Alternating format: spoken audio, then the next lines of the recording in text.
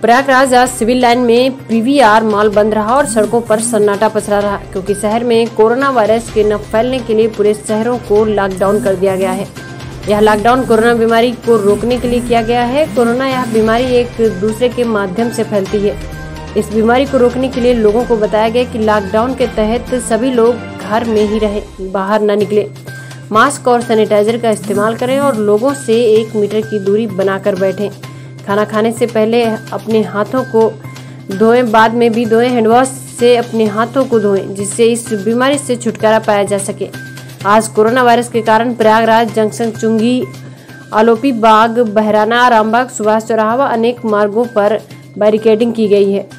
Lockdown में ambulance स्वास्थ्य विभाग की गाड़ियाँ, नगर निगम की गाड़ियाँ व इमरजेंसी सेवाओं मेडिकल स्टोर को छूट दी गई है।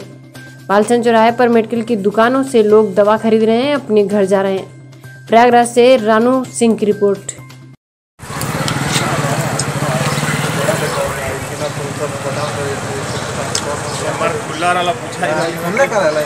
पूछा।